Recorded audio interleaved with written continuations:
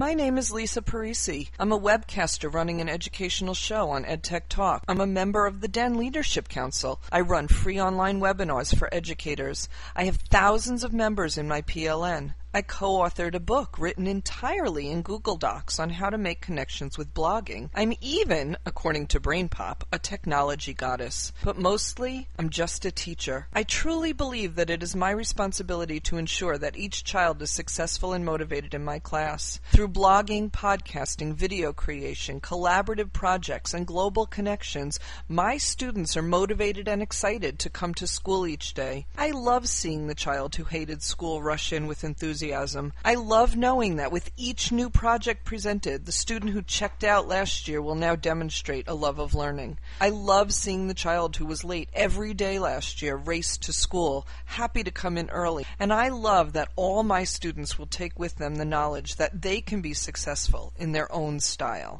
What do my friends have to say? Hi, Google Teachers Academy from Bangkok, Thailand.